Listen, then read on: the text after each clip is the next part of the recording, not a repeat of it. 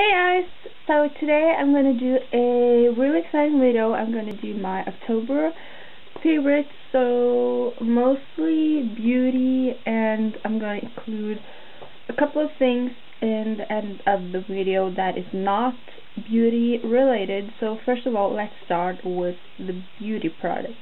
So for beauty products, I'm going to start with skincare first. So I'm going to start with this mask. This is just a regular conditioning clay mask and it is for all skin types and this is a botanic it's kind of like natural ingredients and stuff like that that um, and you have to shake it really well and then you apply it all over your face and you leave it on your face for about 20 minutes and then you rinse it off and it gets tighter and tighter around your skin for every minute. You have washed off the mask, your skin feels really nice, very clean. The next thing I want to talk about is this body butter by The Body Shop and it looks like this and this is the duo body butter. So this is the macadamia and it comes with two sides. So it has a for normal skin and one for dry skin and it smells really good. It's kind of almost a coconut feel, like a coconut smell. Um, but it, this is a macadamia smell, but it's almost the same as a coconut smell. And yeah, I really, really love using the dry side. It gives a really soft skin and everything. I use it on my legs, I use it on my arms, I use it on my stomach and my back, and just my whole body basically. A sample size is not the original size. This is by Lancome and it is called Hydra Zen and then it says Soothing Anti-Stress Moisturizing Cream. So yeah, this is a jar full of cream. It smells really good. It almost like I feel like all Lancome creams have the same smell. I really like the smell and this has lasted me for a really long time even though it's kind of a small bottle but I only use it on my T-zone. So I use it when I'm stressed.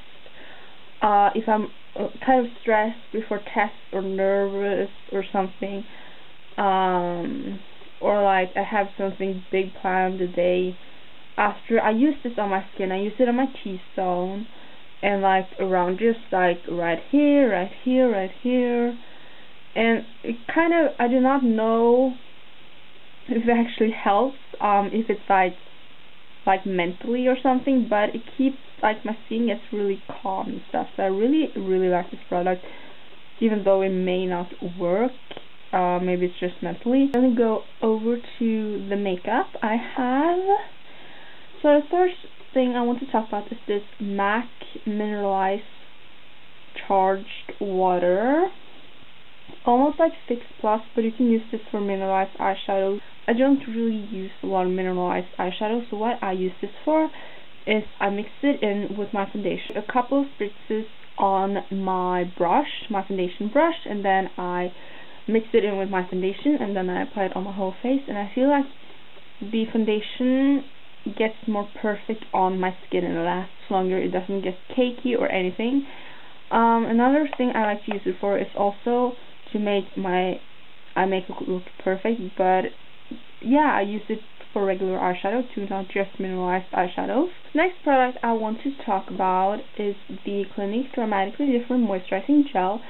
I've been using this for so long, and I love it. I love it. And I'm like halfway, and I got this in like May or something, either May or April, and I still have it so that's crazy and I'm almost oh, only halfway and I've used it every single day for that much of a month and I usually mix it in with my foundation to make a tinted moisturizer but um, for now I'm only using it as under before I apply my makeup really like it and I'm actually planning on buying the two other steps in the Clinique three-step skincare routine. I used to use them before, but then I stopped because they weren't really working on my skin but now that my skin has improved a lot and uh, stuff like that I think that the whole skincare line will work better. The next thing is a lipstick and it is from Maybelline this is a color sensational lipstick and they are like one of my favorite lipsticks in the whole entire world. This is 250 Mystic Mauve and this is just a really really nice burgundy color. And it actually shows up more nude than it is in real life.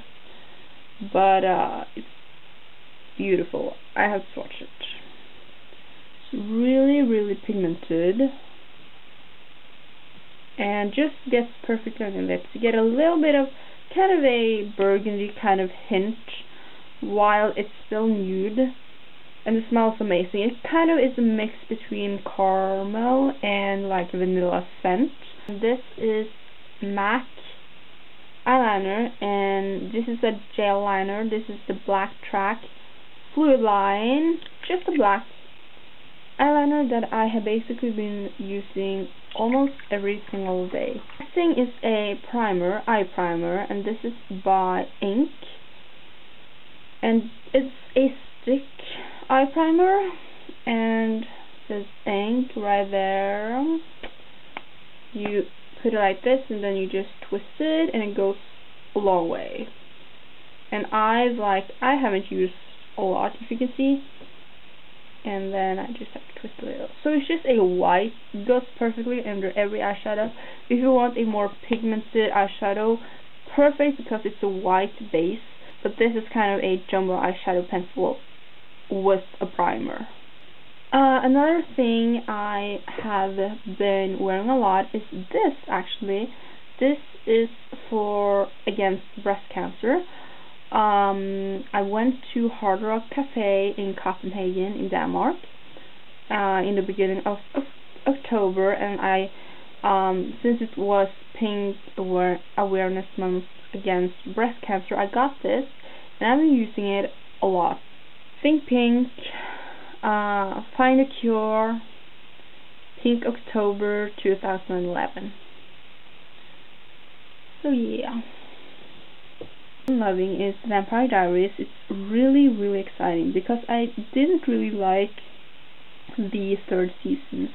Um, and I thought myself, well, I don't think I'm gonna watch the fourth season because the third season were kind of meh it wasn't really that good.